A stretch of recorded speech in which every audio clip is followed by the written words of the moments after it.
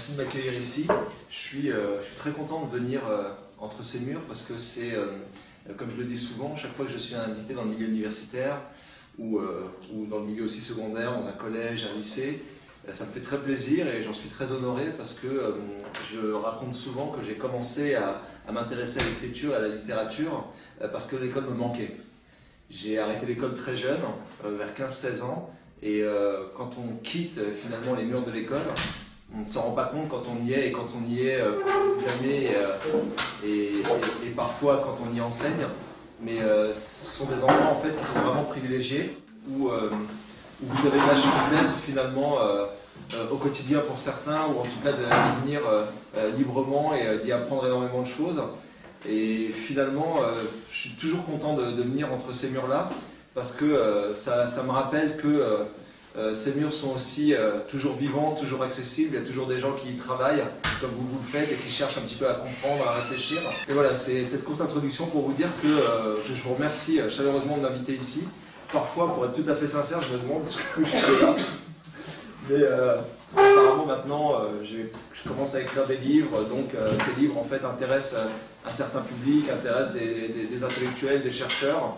Donc, je m'en réjouis. Et si je peux me rendre utile à votre travail. Donc euh, c'est une bonne chose pour moi et, euh, j'espère qu'on passera deux heures qui seront utiles pour, vous, parce qu'elles le sont quoi qu'il en soit pour moi.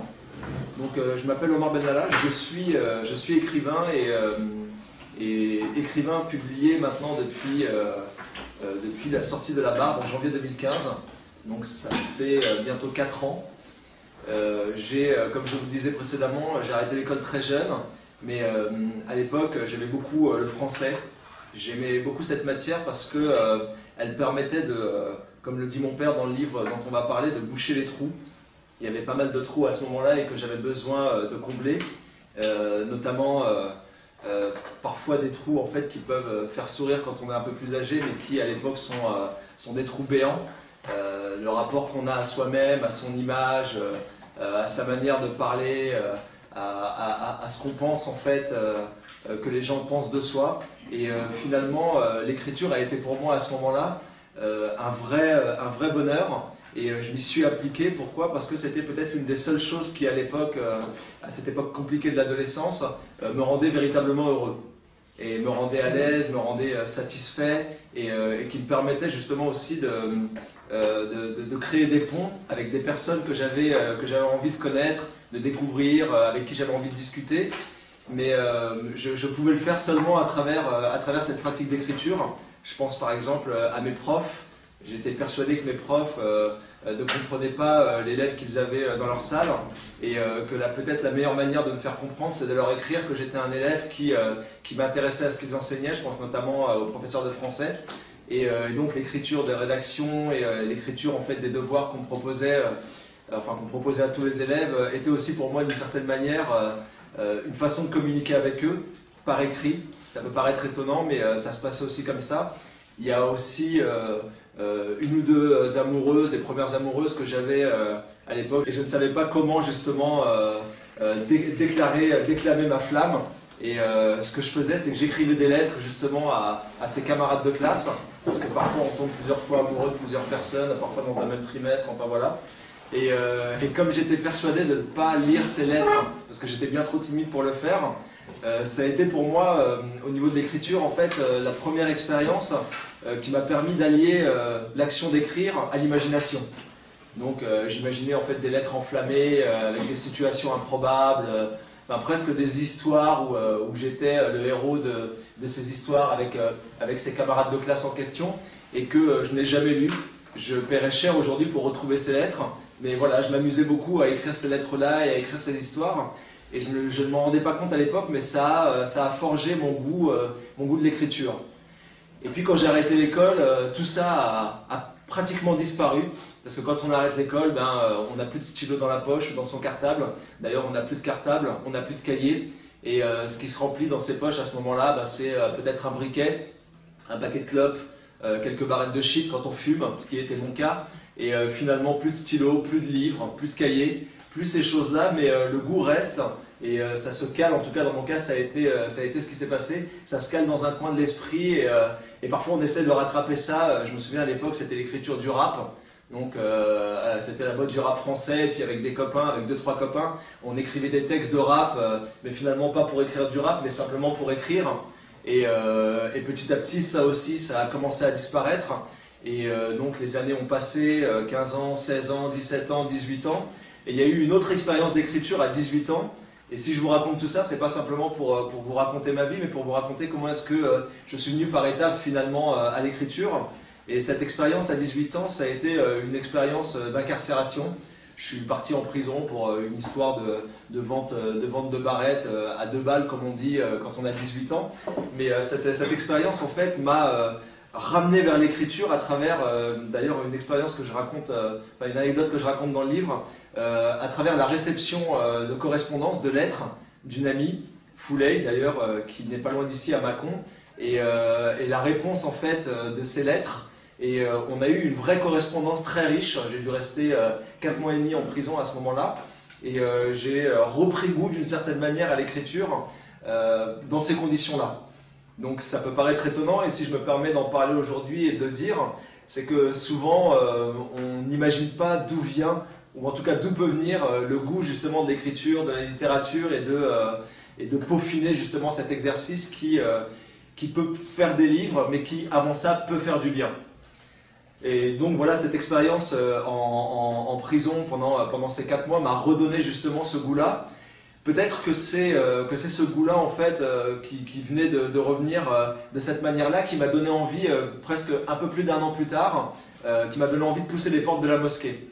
C'est ce que je raconte dans le premier livre là-bas. Donc, euh, après avoir été déscolarisé, après avoir traîné dans le quartier et à ne pas savoir quoi faire de ma vie, à un moment, un copain m'invite justement à la mosquée du quartier et, euh, je décide de le suivre. Et finalement, euh, il y a deux choses qui me plaisent en arrivant dans cette mosquée que je ne connais absolument pas. Je ne sais pas du tout ce qu'est l'islam. je sais que je suis musulman, mais ça ne va pas beaucoup plus loin. La première des choses, c'est le discours construit qu'on propose. Donc, comme je le raconte au début dans la barbe, c'est on est sur une terrasse il y a quelques copains du quartier qui sont, euh, qui sont là, mais euh, enfin, qui n'ont pas été à l'école depuis des années, qui, sont, euh, voilà, qui, parlent souvent vulgairement, enfin, qui, qui parlent sèchement, ou alors qui se battent beaucoup, qui parlent avec les mains, avec la violence.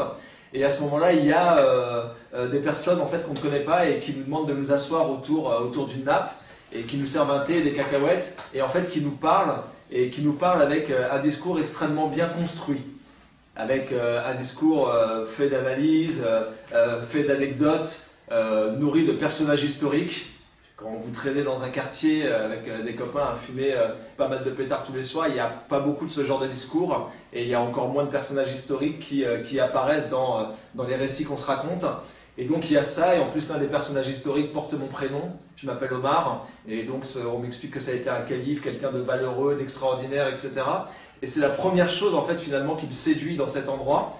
Et c'est pour ça que je disais en, euh, introduction que vraiment les murs euh, d'un établissement scolaire, que ce soit l'ENS ou un collège, pour moi c'est quelque chose à chaque fois qui fait un vrai effet, qui est extrêmement précieux, parce que euh, finalement ces murs protègent peut-être un peu du monde extérieur pendant ce moment-là, et on peut y parler de ces choses-là des choses un peu plus, un peu plus intelligibles, un peu plus intellectuelles, etc., et qui finalement nous font, nous font aussi grandir.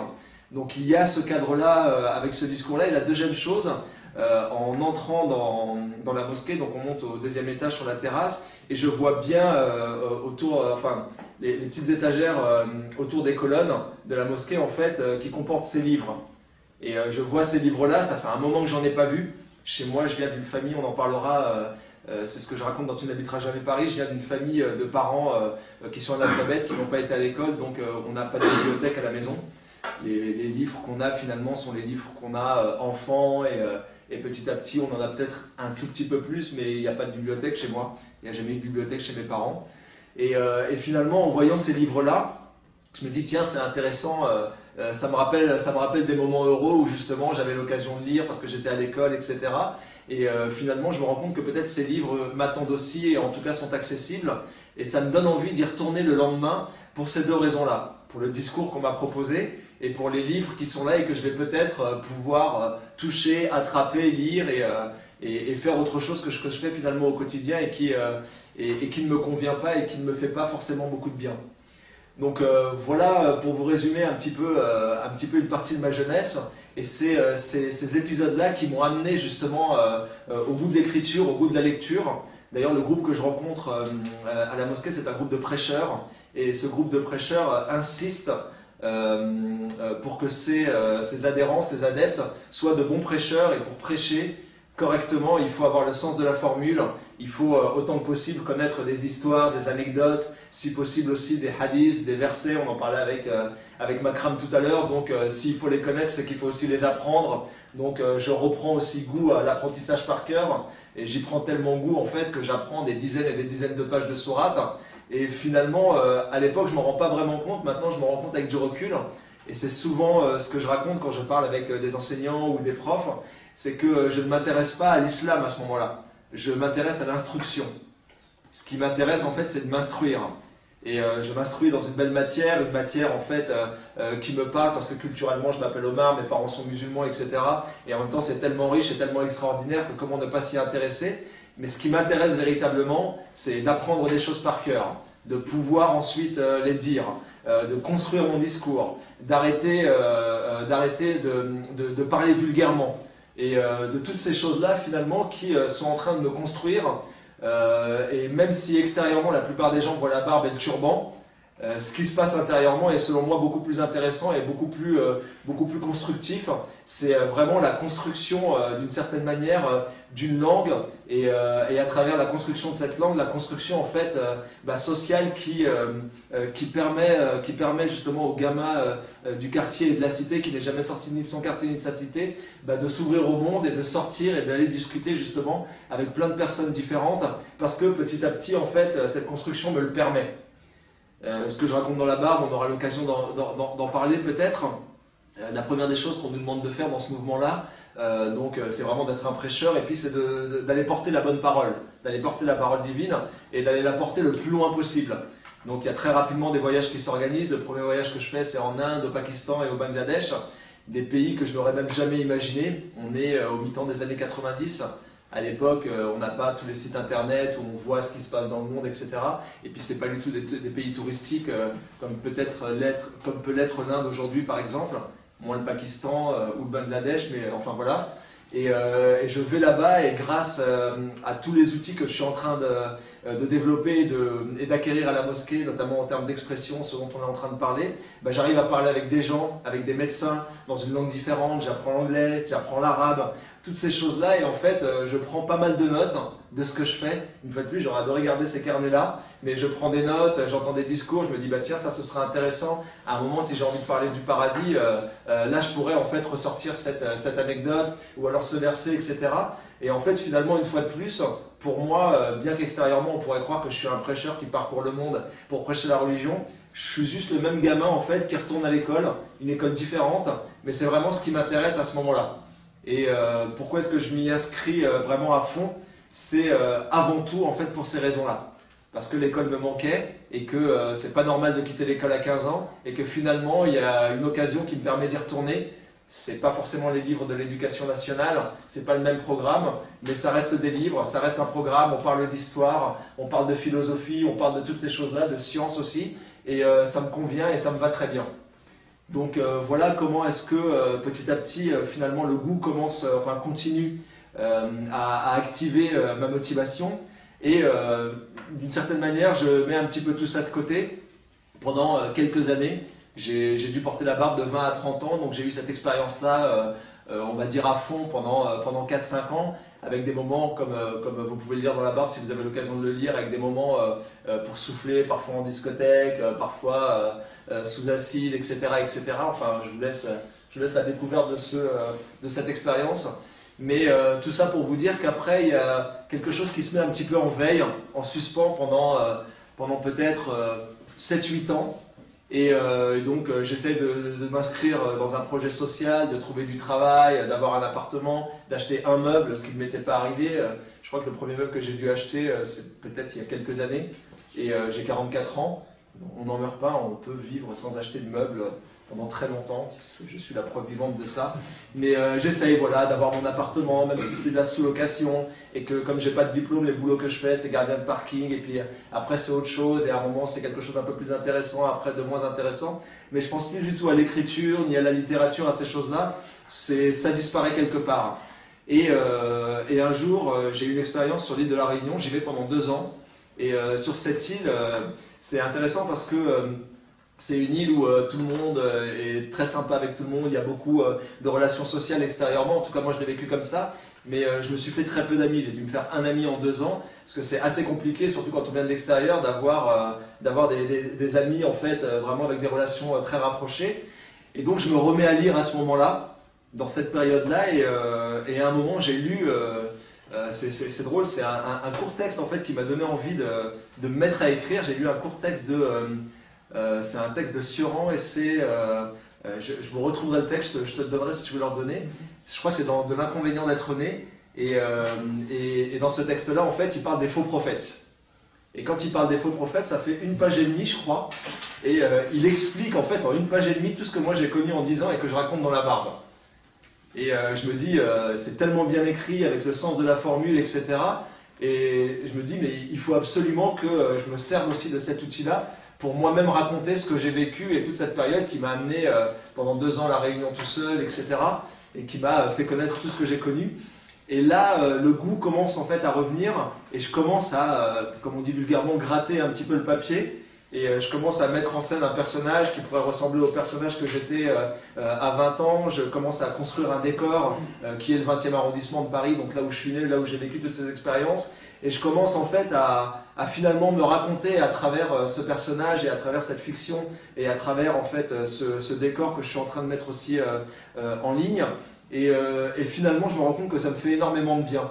Ça me permet de, faire une forme d'introspection et puis de reconstruire un petit peu, euh, de reboucher les trous, euh, des choses auxquelles je n'avais pas pensé, etc. Et j'y prends goût. Et ce personnage, en fait, a, ensuite un copain, et ensuite lui et, son copain, en fait, commencent à, avoir l'idée de faire quelque chose. Et ensuite, pour faire quelque chose, me dit, bah tiens, il faudrait peut-être créer un autre personnage qui pourrait leur dire, bah non, vous n'allez pas faire cette chose. Euh, et, eux vont essayer de trouver des solutions pour faire ces choses, etc. Et finalement, je me rends compte que je suis en train de, prendre goût à l'écriture de cette manière-là. Mais de manière pas du tout professionnelle, ou, euh, ou, pour être édité, ou pour écrire un livre, ou euh, juste pour le plaisir de le faire. Et de retour en France, j'ai un dernier boulot, c'est le dernier boulot, j'ai envie de dire, de l'ancienne époque que je fais. Je suis régisseur au studio Harcourt, donc un studio photo un peu de star où, euh, où les gens viennent se, faire prendre le portrait depuis les années 30, tirer le portrait, pardon. Et euh, je suis là, je fais un petit peu tout, euh, je, suis un peu l'homme à tout faire de ce studio. Et à un moment, on est obligé de me licencier pour des raisons économiques. Et, et à ce moment-là, on me propose d'aller travailler juste après chez Dior, juste à côté. Et je me dis, je, toute ma famille, si j'avais écouté ma famille, bah vas-y, il faut travailler, il faut le CDI, il faut... Et à ce moment-là, je me dis, il y a quelque chose qui vient, et puis euh, je vais avoir 40 ans, et je me dis, bah, je vais essayer de, prendre au sérieux euh, euh, ce qui me plaît de plus en plus, c'est-à-dire écrire, et je vais me laisser les 6 mois de chômage qui arrivent pour voir si je peux y arriver.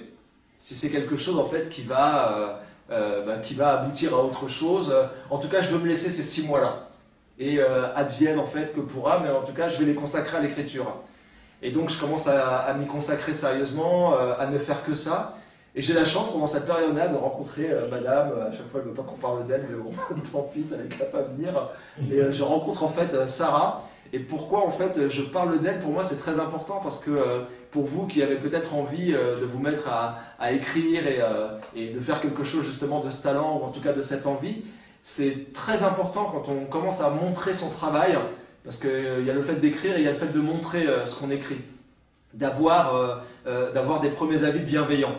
Et c'est pas toujours le cas. Et quand j'ai rencontré Sarah, donc, qui, euh, qui est prof de littérature et, euh, qui sait de quoi elle parle quand elle parle de littérature, je lui ai dit, bah voilà, moi j'écris euh, quelque chose et j'avais fait dire ça à quelques copains sur Facebook et tout le monde me trouvait génial parce que mes copains ne lisent pas. Et j'avais l'impression en fait finalement de l'être, quoi, d'être génial parce que j'arrivais à, faire des phrases avec un point à la fin et des virgules au milieu et c'était suffisant pour beaucoup des gens qui étaient autour de moi.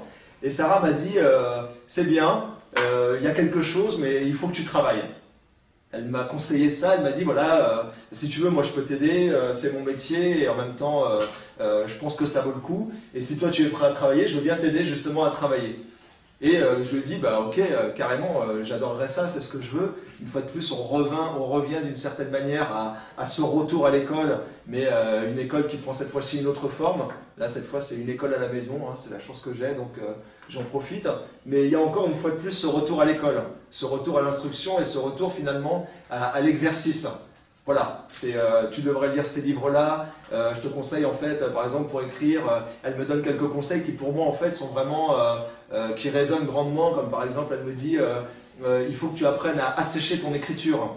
Euh, enlève le gras. Tout ce qui est inutile, toutes ces choses-là, euh, essaye en fait de, l'assécher, de l'enlever. Et, ces choses-là, en fait, enfin, ton, écriture en sera, en sera plus efficace, plus forte, plus fluide. Et on comprendra mieux ce que tu veux dire. Et toi-même, tu seras plus satisfait de ce que tu es en train d'écrire. Donc je suis ces conseils-là, et puis je commence à écrire, et puis vient l'un des exercices autobiographiques. Et, elle me dit, bah voilà, essaye de faire ça, raconter quelque chose que tu as euh, que tu as un jour vécu, qui t'a euh, marqué euh, et que tu aurais envie de raconter. Ah oui, alors en fait j'ai vécu pas mal de choses et qu'est-ce que je pourrais raconter? Mais tu m'avais raconté une fois que tu avais la barbe et que tu avais fait des voyages en Inde et que toutes ces choses-là. Je dis ok, je vais raconter ça.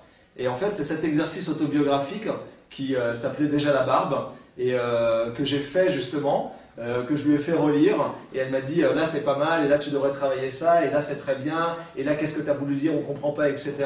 Donc j'ai repris ma copie, j'ai euh, retravaillé le texte, elle m'a dit là c'est pas mal du tout, euh, mettons-le en ligne en fait sur un site qui venait de sortir qui s'appelle Raconter la vie, et euh, qui était un site malheureusement qui n'existe plus et qui donnait la parole à tout un chacun pour raconter une histoire, une expérience de son quotidien, quelque chose qu'il a vécu. Donc j'ai déposé ce texte-là en étant tout content d'avoir finalement entre guillemets réussi l'exercice, mais ça n'allait pas plus loin. Et euh, il se trouve que ce texte a été repéré par euh, l'éditeur euh, de, ce site et de la collection éponyme qui était à l'époque éditée aux éditions du Seuil, et qui s'appelle Pierre Rosanvallon, qui est lui aussi professeur, et que j'ai rencontré pour la première fois au Collège de France.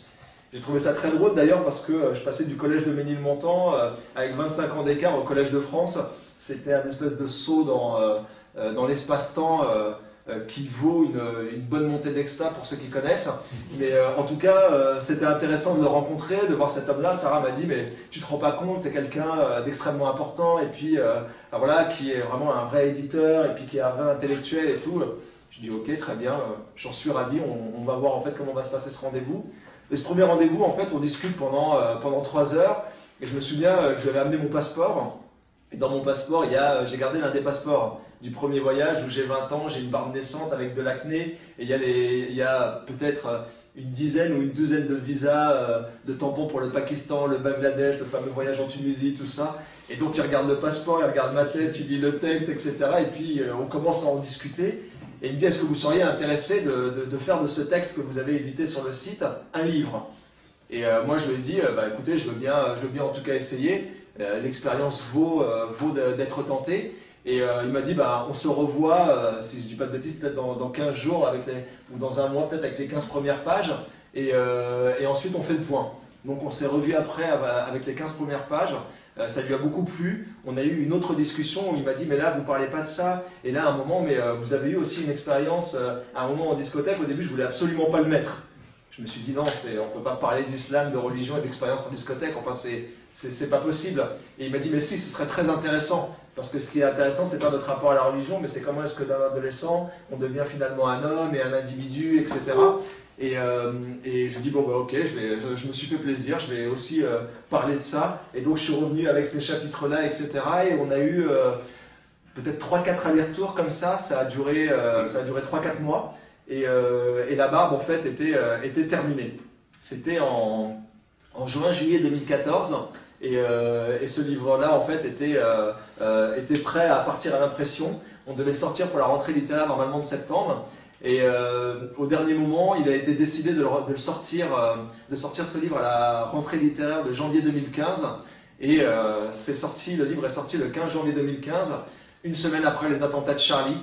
Donc l'histoire d'un gamin qui, qui, quitte le quartier, enfin voilà, tous les clichés qu'on avait quand on parlait des terroristes et quand on en parle encore maintenant, c'est-à-dire euh, issus de l'immigration, euh, si possible maghrébine ou subsaharienne, euh, si possible en fait décrocheurs, si possible allant vers la petite délinquance et la prison, si possible après ça allant vers la mosquée, si possible prenant une kalachnikov, tuant tout le monde.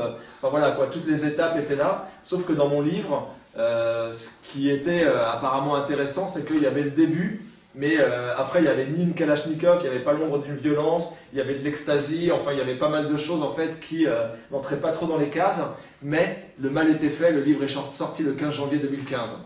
Et depuis la sortie de ce livre-là et de cette première expérience, euh, il y a eu euh, pas mal de choses qui se sont passées pour moi. Et, euh, surtout, une chose en fait qui nous amène peut-être maintenant à, l'écriture de Tu n'habiteras jamais Paris.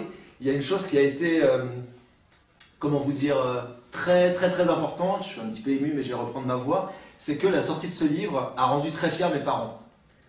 C'est quelque chose de tout bête, mais euh, quand on pense en fait aux médias, quand on pense à l'année 2015, à toutes ces choses-là, on peut dire que waouh, euh, il y a eu une bonne presse, ça c'est important, il y a eu euh, toutes ces choses-là. Mais surtout pour moi, ce qui était vraiment important, c'est que mes parents, et surtout mon père, mon père en fait a vu que son nom était écrit sur la couverture d'un livre. Ma mère aussi, elle l'a moins exprimé, mais pour lui c'était quelque chose d'extrêmement, important, même s'il l'a exprimé de manière très, très digne et j'ai envie de dire presque très discrète. Et pourquoi je vous dis que c'est très important Parce que je le dis dans la barbe, mon père m'a appris ça, il m'a dit, euh, euh, quand on discutait ensemble, il m'a dit, euh, le jour où tu m'as dit que tu quittais l'école, donc je devais avoir 15 ans, il m'a dit, ça a été le pire jour de ma vie. Et je m'en étais jamais rendu compte, bien que je vive avec lui depuis des années et que c'est peut-être la personne la plus proche de moi. Et il m'a dit ça, et en fait, finalement, revenir d'une certaine manière à l'instruction, à l'école, à l'écriture, à tout ce que lui n'a pas eu mais euh, a voulu pour ses enfants à travers la, sortie de ce livre, l'écriture de ce livre. Euh, j'ai envie de dire, on avait, euh, on, avait réglé énormément de choses sans même le voir, sans même sans même s'en rendre compte et sans même presque le vouloir. On va dire que les choses se sont faites presque naturellement. Et, et mis à part en fait tout le côté extraordinaire qui, qui a découlé de la sortie de la barbe, je pense aux rencontres. Euh, j'ai par exemple rencontré Macron, mais euh, j'ai eu la chance de venir ici déjà pour en parler. J'ai fait des dizaines de rencontres, que ce soit à l'université, dans des collèges, dans des lycées. Enfin, il y a vraiment eu énormément de choses très positives pour moi. Notamment, je pense beaucoup aux rencontres euh, avec les jeunes que j'ai rencontrés en maison d'arrêt. des rencontres extrêmement fortes avec la sortie de ce livre-là. Mais au milieu de tout ça, il y a la satisfaction d'un père finalement, d'une mère aussi, mais avec mon père c'était beaucoup plus, c'était beaucoup plus parlant pour moi et qui dit, euh, voilà, enfin, il, a compris euh, le but de tout mon exil et pourquoi je suis venu d'Algérie et pourquoi je me suis cassé le dos pendant 40 ans pour que mes enfants justement aillent à l'école et euh, prennent ces outils-là qui sont justement distribués et, très gracieusement dans, l'éducation, enfin dans l'éducation nationale, à l'école, quel que soit le niveau, et qui s'en emparent et qui en fassent quelque chose. Et pourquoi est-ce que je, raconte ça de cette manière-là? C'est que ce qui s'est passé, c'est que en voyant la satisfaction que mon père avait et euh, en, écoutant les retours de beaucoup de gens qui me disaient lors de la sortie de la barre, parce qu'il y a le portrait de mes parents qui est euh, parfois, euh, parfois traverse les lignes du livre, et les gens en fait me disaient mais on, aimerait beaucoup en savoir plus sur vos parents. Qui sont ces gens Pourquoi est-ce qu'ils sont arrivés ici Comment ça s'est passé. Parce que finalement vos parents disent tellement de choses de beaucoup de parents, de jeunes de votre génération ou un petit peu moins jeunes, et euh, peut-être qu'en comprenant mieux leur parcours à eux, on vous comprendrait mieux vous. Et euh, finalement, on était à une époque, je vous parle de, 2015-2016, où euh, on cherchait à comprendre en fait qui étaient ces jeunes entre guillemets issus de l'immigration et qui arrivaient sur le devant de la scène, mais de la mauvaise manière, et, qui étaient là finalement depuis 30, 40, 50, enfin depuis 20, 30 ou 40 ans. Et, et qui sont-ils? En fait, d'où sont-ils venus? Et ils sont nés maintenant en France, mais pourquoi? Qui les a amenés? Et euh, tous ces messages, en fait, m'ont donné envie à ce moment-là de, euh, bah, finalement raconter l'histoire de mes parents. Et euh, de m'intéresser à leur histoire et de la raconter en partant de leur propre témoignage. Et, après, c'est arrivé très très rapidement après l'écriture de la barbe, après la sortie de la barbe. Je me suis dit, voilà, le prochain exercice, j'aimerais que ce soit celui-là. Donc ce que j'ai fait, c'est que j'ai, je l'ai proposé à mes parents. Mon père a tout de suite accepté et a tout de suite joué le jeu. Pour ma mère, c'était beaucoup plus compliqué. Ma mère, euh, c'est pas qu'elle voulait pas, c'est que euh, euh, elle disait oui, mais à quoi bon Mais en même temps, tu te rends compte que ça va être un livre et, un livre en fait c'est quelque chose. enfin voilà, ça va sortir de la maison. Ce qui, ce qui rendait inquiète ma mère en fait, c'était que l'histoire sorte de la maison. Et pourquoi? Parce que elle, c'est une femme qui arrivait d'Algérie dans les années 60 et qui arrivait d'un petit village kabyle et, et qui n'est finalement pratiquement jamais sorti en 50 ans de son appartement pour aller dans le quartier, faire les courses, etc. Mais euh, Enfin voilà quoi, c'est quelqu'un qui a, qui a eu, qui a cette vie et qui a eu cette vie. Et pour elle, en fait, écrire un livre, elle raconter son histoire à elle et l'histoire de sa famille, comme elle le dit souvent, ce qui est à la maison reste à la maison. C'était quelque chose de beaucoup plus compliqué finalement à faire que ça ne l'a été pour mon père, qui lui finalement euh, a, raconté une existence qui se passait beaucoup plus à l'extérieur euh, qu'elle ne se passait à l'intérieur pour ma mère. Toute la plupart des choses que mon père raconte, euh, ce que je lui ai demandé, c'est vraiment de raconter des choses du quotidien, euh, c'est ses trajets quand il est dans le village kabyle et qu'il va chercher les courses parce que son, euh, père ouvre une petite épicerie et que c'est lui qui va chercher les choses dans le village à côté ou, dans la ville, en mulet, à pied, etc. Donc c'est à l'extérieur. Il raconte son exil en France et c'est aussi une expérience de certaine manière extérieure. Il raconte son arrivée en France, les trajets pour aller au travail, le chantier. Il y a beaucoup de choses qui se passent finalement à l'extérieur et pas dans le foyer. Et je pense avec le recul que c'est ce qui lui a permis, euh, d'une certaine manière, euh, d'être plus à l'aise dans l'exercice de se raconter. Et donc finalement, ma mère euh, me dit peut-être, on verra. Donc j'ai essayé jusqu'à, j'ai essayé de tirer, de tirer le fil pendant au moins un an, jusqu'à ce que j'ai compris que ça allait être, ça, n'allait presque pas être possible, bien qu'elle témoigne un petit peu, si vous avez l'occasion de lire le livre. Et ce que j'ai fait, c'est que je me suis concentré sur mon père, et on a commencé à à, écrire, euh, euh, à enregistrer en fait ce qu'il me disait, moi-même à écrire euh, au début de manière complètement brute tous ces enregistrements. J'en ai d'ailleurs gardé quelques-uns qui sont des enregistrements vocaux à l'oral et que j'ai retranscrit. j'ai essayé de faire autant que possible mot par mot. Et après, tout mon travail à moi, parce que c'était le marché que j'ai fait avec mon père, on va raconter ta vie quotidienne. C'est ce qui m'intéresse. Les histoires de famille, toutes ces choses-là, ce ne sera pas dans le livre. Je pense que ça n'intéressera pas grand monde. Et en même temps, ce qui est intéressant, c'est vraiment le parcours, c'est-à-dire vraiment le, chemin. Où est-ce que tu as posé tes pieds? Pourquoi est-ce que là, à un moment, tu ne les as pas posés, tes pieds? Parce qu'on t'a dit non, parce que ça a été difficile, parce que tu ne savais pas y aller. c'est vraiment ces questions-là qui m'intéressaient. Euh, et, donc, mon père a commencé, il m'a posé la question, il m'a dit, bah, alors par quoi on commence? Et je lui ai dit, ton plus lointain souvenir. Et donc on a commencé par l'enfance en Kabylie, après l'enfance en Kabylie, euh, euh, il y a eu euh, cette période en fait de la guerre d'Algérie pendant laquelle il avait, il avait 14 ans, 13-14 ans quand ça a commencé, et ensuite il y a eu l'exil en France, et il y a eu l'arrivée à Paris, la difficulté, la difficulté des distances, la difficulté finalement d'apprendre un métier en autodidacte. Mon père était maçon, mais il n'a pas fait de formation pour être maçon. Il est devenu maçon, j'ai envie de dire, euh, presque sans, euh, sans qu'on lui pose la question. Et, euh, et toutes ces choses-là, la difficulté d'aller à l'école, d'amener ses enfants à l'école et de faire les, devoirs de ses enfants qui ont pardon, qui sont en CP, en CE1, donc apparemment quelque chose de pas très compliqué d'aider ses enfants à cet âge-là, sauf que ça devenait le grand problème de sa vie parce que lui était justement analphabète. Et ma mère aussi, il lisait, il déchiffrait à peine, et ça a été extrêmement compliqué pour lui justement de bah, d'aider ses, enfants à faire leurs devoirs. Euh, alors que ses enfants sont en CP. En CP, en CE1, et finalement il a appris un petit peu euh, à lire et à écrire pendant que nous on apprenait aussi. Il l'a avoué pendant le livre, il, piquait nos livres pendant qu'on dormait et il regardait avec ses grosses lettres dessinées euh, A, B, etc. Essayait d'assembler les lettres, comme il disait. J'ai jamais compris en fait pour Oasis pourquoi est-ce que c'est un Z, pourquoi est-ce que c'est pas Oasis? Un S c'est un S, pourquoi est-ce que ça se prononce Z? Donc il y a toutes ces choses-là qui ont toujours été des choses difficiles pour lui, mais bon, il a essayé quand même euh, d'avancer un petit peu comme ça, petit à petit. Et c'est finalement euh, euh, la matière que j'ai eue avec mon père. Et à partir de cette matière, de plus en plus, quand la matière arrivait, j'ai essayé de construire un récit et, qui répondrait à, à, deux conditions.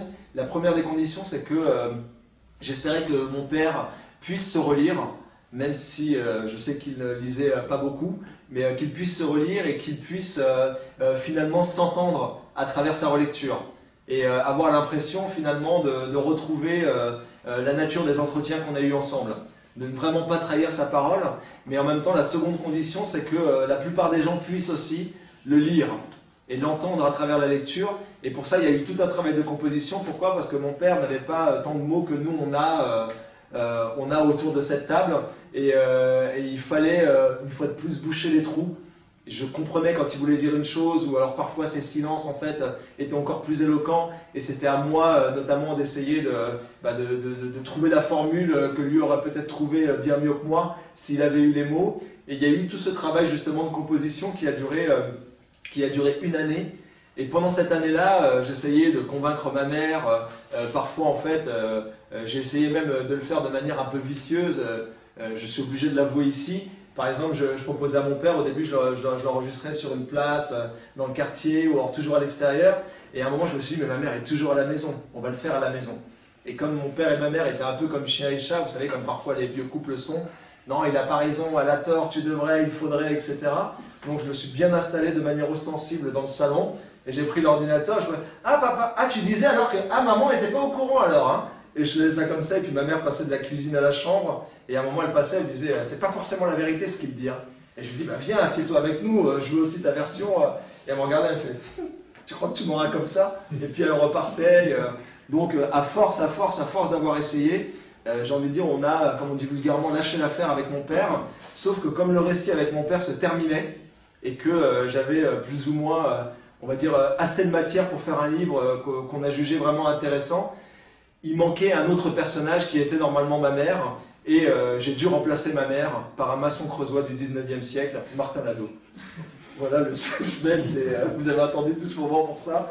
Mais euh, pourquoi, en fait, j'ai, dû introduire ce personnage dans, dans le livre que j'ai consacré, que je voulais au début consacrer à mes parents Je, n'ai aucune affiliation avec Martin Lado, ou alors je l'ignore.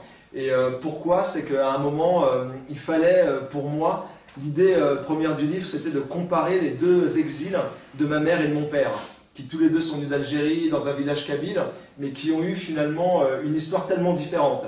Parce qu'un homme, parce qu'une femme, parce que dans le foyer, parce qu'à l'extérieur, etc. Et comme je n'ai pas eu, je suis resté sur ma faim euh, concernant le témoignage de ma mère, je me, au début j'enregistrais mon père place Martin Lado, qui est une place qui se trouve à deux pas de chez nous dans le quartier. Et, et Martin Lado était un maçon creusois qui est euh, monté à Paris euh, avec euh, les hommes, comme on disait à l'époque, et qui montait de la Creuse tous les ans ou tous les deux ans pour construire la capitale, soit à Paris, soit à Lyon. Avant ça, à La Rochelle. les premiers maçons creusois en fait sont, sont allés construire les fortifications de La Rochelle. Et, ce qui s'est passé, c'est que ce Martin Nadeau était un maçon creusois et comme mon père a connu énormément dans son exil euh, énormément de similitudes en fait dans, euh, dans l'expérience qu'il a eue de, cet exil. Euh, je parle d'exil, pourtant c'était quelqu'un qui venait d'une région française, mais à l'époque les, immigrés, les étrangers, les gens étranges venaient des régions. Et donc maçon creusois, enfin le maçon creusois comme l'Auvergnat, comme quelques, de quelques régions que, viennent les gens à l'époque à, Paris dans la capitale, étaient des étrangers, des immigrés. Et finalement, en m'intéressant à ce Martin Lado, une fois de plus, je rends grâce euh, à madame qui m'a dit Mais tu devrais t'intéresser à Martin Lado. Et, euh, elle m'a mis sa, biographie sous le nez. Et elle m'a dit euh, Il faudrait vraiment que, que tu regardes parce que c'est intéressant. Et puis il y a peut-être des similitudes. Et, et, en même temps, elle me poussait un petit peu comme un, petit peu un exercice d'écriture et un exercice aussi de, on va dire, de construction littéraire. Parce que l'un de ses conseils, c'était il faut que tu, euh, maintenant que tu as écrit euh, ce premier livre, le deuxième dont on parlera euh, très rapidement si vous voulez tout à l'heure, elle m'a dit il faut maintenant que tu apprennes justement à aller chercher la matière pour écrire tes livres, que tu apprennes à te renseigner, que tu lises plus, que tu vois un petit peu ce qui a été fait dans l'histoire, etc. Et je pense que Martin Lado était aussi là pour ça. Et au début, quand Sarah m'a conseillé de m'intéresser à Martin Lado, j'ai mis peut-être, j'avais commencé à interroger mon père, j'ai mis plusieurs mois, je crois, peut-être 8 ou 9 mois, avant d'ouvrir le livre qu'elle m'a mis sous les, sous les yeux, j'ai lu la biographie rapidement. Et, euh, et en fait, ça m'a fait peur. Ça m'a fait peur parce que je me suis dit, euh, si je dois m'intéresser à ce personnage et éventuellement l'incorporer au livre, il va falloir que je m'intéresse à son époque. Il va falloir que je m'intéresse euh, à sa région. Il va falloir que je m'intéresse en fait aux ouvriers du 19e siècle. Il va falloir que je m'intéresse à toutes ces choses, finalement, dont je n'ai jamais entendu parler. J'ai arrêté l'école en troisième. J'ai jamais poussé aussi loin en histoire. J'ai jamais lu de thèse de ma vie. Je vous entendais tout à l'heure, vous disiez que c'est la dernière année de thèse, donc euh, j'ai lu maintenant deux thèses et euh, je comprends pourquoi est-ce que ça peut être, euh, ça peut être compliqué à, terminer. Donc j'ai lu la thèse d'Alain Corbin sur, sur le Limousin au 19e siècle et j'ai commencé justement à, à, prendre ce livre-là. D'ailleurs, Sarah, c'est drôle parce qu'elle me disait Mais va la chercher, elle n'est plus éditée, mais tu dois la trouver à la bibliothèque de l'ENS à Paris. Et je me souviendrai toujours en fait de ce moment où je suis allé chercher cette thèse. Et euh, vous, vous, entrez à la bibliothèque de l'ENS et moi je vais pas dans les bibliothèques avant ça. Enfin, d'habitude c'est pas mon c'est pas mon monde. Et je vois tous ces livres et des vieux et certains qui ont cette taille. Enfin, c'est euh, Et, je vais chercher la thèse d'Alain Corbin et je vois en fait deux volumes. Comme je le dis à un moment pour plaisanter dans le livre, moi j'ai écrit deux livres qui doivent faire à peu près 20 grammes entre la barbe et les fractions. Et le livre d'Alain Corbin, un tome, c'est un kilo. Et, donc il faut que je m'attaque à ce kilo. C'est aussi comme ça que je vois un peu parfois les, les choses. Et je commence à, prendre cette thèse et je commence à lire et je m'y intéresse. Et, je vois plein de, de, similitudes et de parallèles avec ce que mon père m'a raconté. C'est-à-dire sur, le, euh, euh, sur euh, notamment par exemple la géographie, le village creusois, le village paysan, enfin c'est même pas un village, c'est un hameau de trois maisons à la Martinèche. La vie quotidienne de Martin Lado enfant, ça ressemble tellement à ce que mon père m'a raconté dans son village kabyle. Et en même temps, le, niveau culturel, si je peux me permettre, en tout cas, on va dire euh, scolaire euh, des habitants, parce que bien évidemment, il y a une culture et une culture très ancienne. Euh, ce niveau-là, en fait, ressemble beaucoup à celui de mon père à l'époque et des gens qui étaient autour de lui. Et par exemple, mon, grand-père, qui lui était monté aussi à Paris, mais il montait un peu comme les maçons creusois pendant un an ou deux, mon grand-père était le seul dans la région qui parlait français couramment et qui le lisait parce qu'il avait eu cette expérience d'immigration. Et en fait, dans le village de Martin Lado à l'époque, il n'y avait que le marguillier qui était le, curé de l'époque, et c'est lui en fait qui a, été, euh, euh, qui a pris Martin Lado sous son aile pour lui apprendre ses lettres euh, les premières années. Et finalement, je découvre, j'y prends goût, je découvre ça, et je termine cette première thèse, et je me dis non, t'es fou, tu vas pas lire le deuxième tome. Mais si, en fait, j'ai tellement envie de le lire, et je lis le deuxième tome, et je commence à chercher des articles, et je vais sur Gallica, enfin toutes ces choses que vous, vous connaissez et que moi je découvre. Et en fait, j'y prends goût, et je prends goût à un siècle, et à travers ce personnage, à un siècle, à une époque, à, un moment où finalement euh, beaucoup de choses qu'on connaît aujourd'hui dans le monde contemporain en fait se construisent à ce moment-là en termes politiques, euh, en termes même architectural, euh, enfin à, beaucoup de niveaux.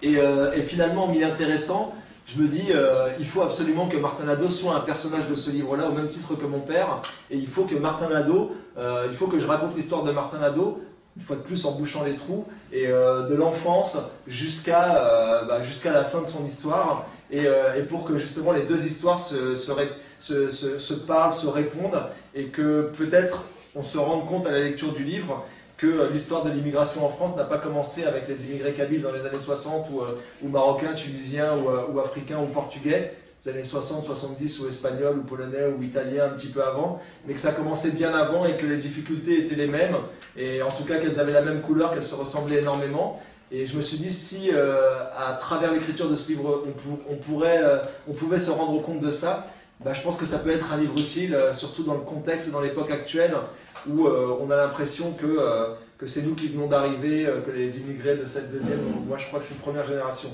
on m'appelle immigré de deuxième génération, moi, et qu'en fait, il n'y a pas eu de génération avant, notamment celle de Martin Nadeau, et, et peut-être même avant lui encore. Et donc voilà comment est-ce que ce livre s'est construit, petit à petit, euh, et, une fois euh, que ce livre a été, euh, a été terminé, était prêt à être publié, je, suis, je vais terminer par ça et après je vais vous laisser justement la parole. J'étais une fois de plus très content parce que cette fois c'était pas juste le nom de mon père qui était sur une couverture, mais c'était carrément son histoire qui était dans, entre les pages du livre. Et c'était un petit peu l'idée, c'était de lui rendre hommage et à travers lui de rendre hommage à tous ces invisibles qu'on n'entend pas, qui disparaissent, qui partent les uns après les autres. Euh, et, mon père est tombé, euh, est tombé malade à la fin euh, de, l'exercice de témoignage qu'on a eu ensemble. Il est tombé malade des poumons, la maladie des maçons, comme, comme ça existait déjà à l'époque et comme ça, comme, comme ça existait aussi pour lui. Et c'est extrêmement incroyable, mais finalement, on a écrit ce livre juste à temps. Si on s'y était mis quelques mois plus tard, peut-être un an plus tard, en fait, on n'aurait pas pu l'écrire. Il n'avait pas assez de souffle pour le faire ça n'aurait pas été possible. Et euh, peut-être que même, euh, c'est ce que je dis à un moment dans le livre, peut-être que euh, ces derniers souffles, il les a sacrifiés à l'écriture de ce livre. Et, et, tant et si bien qu'on on a reçu, on a reçu le, premier exemplaire au mois, au mois d'août, fin août. Et, il l'a reçu, il l'a pris, il en a signé un. Il était très content et très fier de voir ce livre. Et derrière, il y a le bandeau avec sa photo. Et c'est l'histoire de Bouzid, etc. Et il est parti le lendemain. Donc euh, il est parti, mais il a laissé ce livre-là, il a laissé ce témoignage-là. Et euh, c'est aussi pour ça que je suis, euh, pour boucler la boucle, que je suis très content et très fier maintenant, peut-être deux fois plus, de venir dans ces murs et de venir dans ces lieux-là. C'est parce que j'y viens plus seul. Autant avant, j'y venais moi-même avec, avec mon, petit, mon petit côté à moi qui veut retourner à l'école. Maintenant, j'amène un analphabète et tous ceux comme lui de sa génération à travers l'écriture de ce livre et, et qui entrent d'une certaine manière par la grande porte dans votre école et dans toutes celles qui, qui me feront l'honneur justement de m'accueillir et pour que finalement leur histoire soit dite, soit racontée euh, autant que possible par eux-mêmes et, euh, et, si possible étudiée et qu'on en, en, tire quelque chose. Merci de m'avoir écouté, merci de votre patience et, euh, et, et à vous la parole.